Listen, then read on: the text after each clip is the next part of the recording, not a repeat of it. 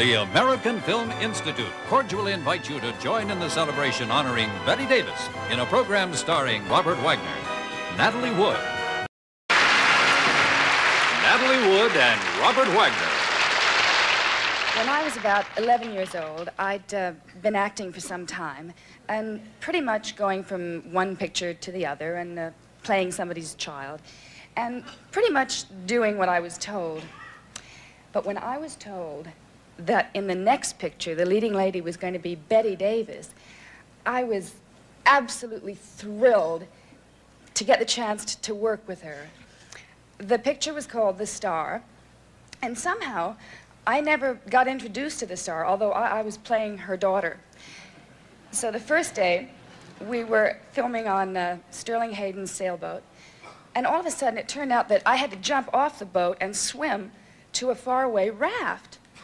So there I was, faced with the threat of being flung into the ocean or losing the part.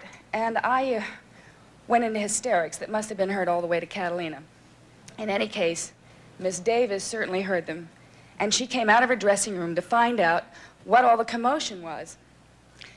This was the only time that I ever saw the famous Bette Davis temperament surface, and it was not on her own behalf. But she did tell the director that she wouldn't stand around while he threw some terrified kid into the ocean. and that if he'd wanted a swimmer, he should have gotten Johnny Weissmuller. I never saw her again for uh, quite a few years.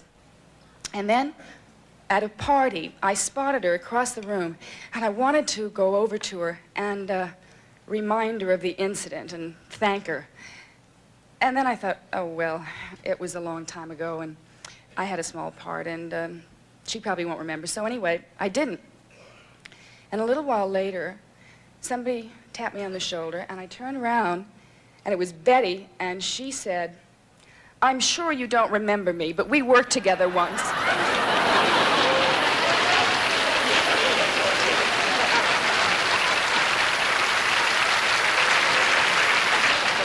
I um, was in a story with Bette Davis um, a few years ago, and I had a line at the end of the film which I uh, constantly repeat to her whenever I see her because it's so very, very true. And the line is, Lady, you're beautiful. Just beautiful.